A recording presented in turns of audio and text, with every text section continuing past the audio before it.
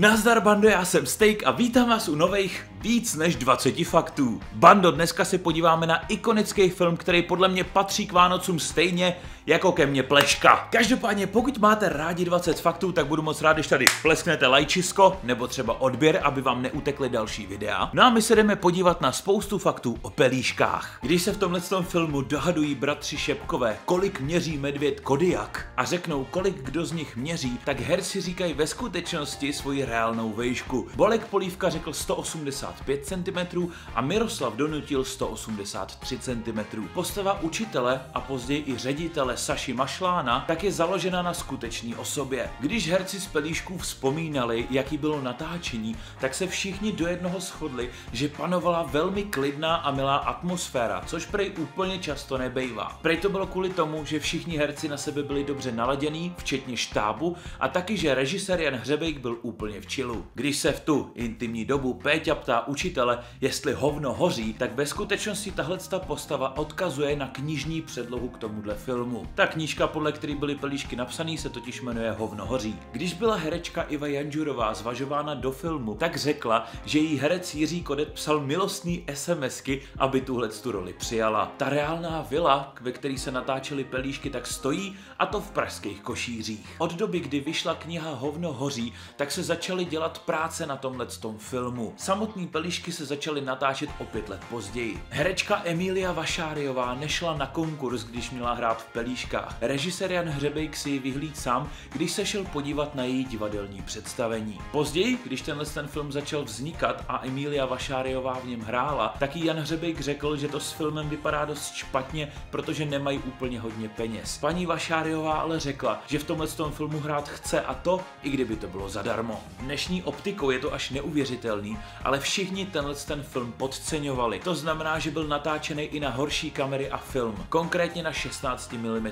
film, což si vlastně můžete všimnout i kvality toho filmu, není úplně taková jako ostatní filmy ze stejné doby. Název Pelíšky byl původně jenom pracovní název a nelíbil se vůbec nikomu až na Jiřího Kodeta. Nakonec štáb ale lepší název nevymyslel a tak se tenhle film jmenuje Pelíšky. Tenhle film se odehrává v roce 1968 a těsně před scénou, kde je řečeno víš co Sašo, jdi do prdele, tak vzadu v ulici projede bílá Škoda Favorit, která se začala vyrábět až o 20 let později. Natáčení tohohle z toho filmu občas provázela smula. Například hnedka druhý den při natáčení se ztratil scénář přímo režiséra, kde měl napsaný svoje poznámky. Nakonec se nějakým záhadným způsobem objevil v rekvizitách. Miroslav Donutil řekl, že v příštím filmu po pelíškách už si zahraje jenom generála. A to z toho důvodu, že v Černých baronech hrál poručíka, v tankovém praporu nadporučíka a v pelíškách hrál majora, takže to je pro něj přece logický posun. Silvie Koblíšková, která v tomhle tom filmu hraje Uzlinku,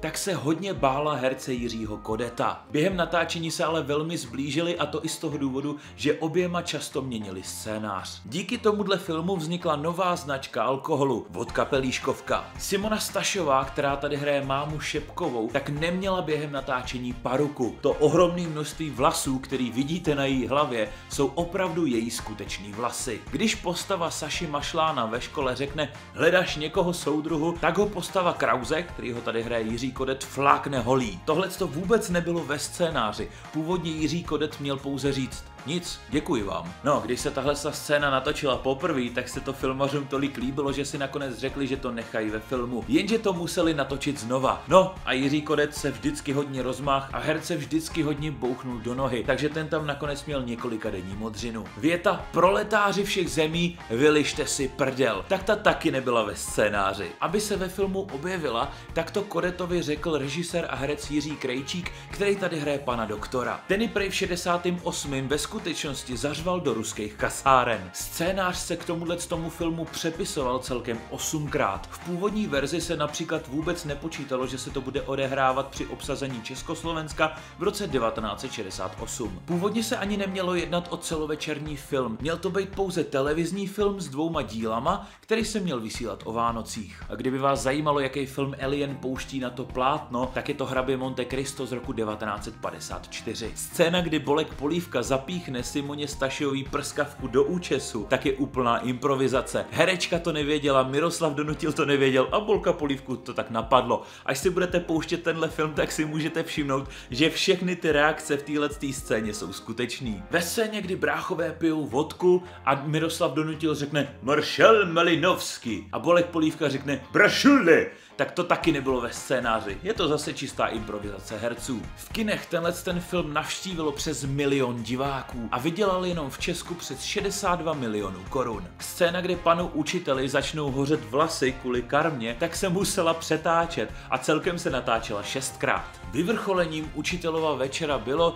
že nakonec s Evou Holubovou skončí v posteli a budou se odehrávat milostní hrádky. Herec Jaroslav Dušek, který tady hraje učitele, řekl, že do téhle scény půjde klidně do naha, ale režisér mu nakonec řekl, že stačí, když bude v trenýrkách. Scéna, kde Miroslav donutil zapálí panáka, pak ho jako hořícího spolkne a vyplivne ten oheň, tak se nacvičovala celý den. I když samozřejmě z pusy Miroslava donutila žádný oheň nešlehá, tak to bylo pro herce i tak celkem nebezpečný. Můžete si ale všimnout, že za hercem byla taková trubička, ze který ten oheň vychází. Film byl nominován nebo získal mnoho cen nejen v Česku, ale i v zahraničí, například v Los Angeles nebo v Polsku. Tak jo, já vám děkuji, že jste se mrkli na tohleto videjko. Pokud se vám líbilo, tak budu moc rád, když tady hodíte like. Zároveň se určitě podívejte do popisku na moje Hero Hero, protože je tam spoustu tajných videí. Já bych řekl, že se tam blížíme už ke stovce. Hodnotili jsme tam například profil OnlyFans, který je prej nejlepší na světě. No, jestli to souhlasí, tak to se můžete podívat. Případně tam mám vlastní detektor lži, kde odpovídám na otázky, které jsou hodně na tělo a nesmím zalhat. Taky jsme tam otvírali erotický mystery boxy, to určitě stojí za to, natlemili jsme se jak blázen, tak tam se určitě podívejte. Zároveň se tady můžete podívat na další videjka, třeba na sobotní týdenní vlog, nebo na čtvrteční videjko, kde jsme si s Marťou taky pokládali hodně spicy otázky. I Marta tam na sebe práskla spoustu zajímavých věcí. Tak jo, mějte se krásně, uvidíme se příště a ahoj.